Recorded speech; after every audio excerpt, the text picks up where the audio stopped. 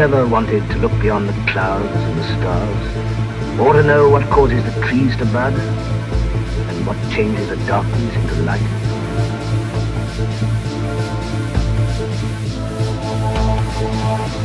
Well, if I could discover just one of these things, what eternity is, for example, I wouldn't care if they did think I was crazy.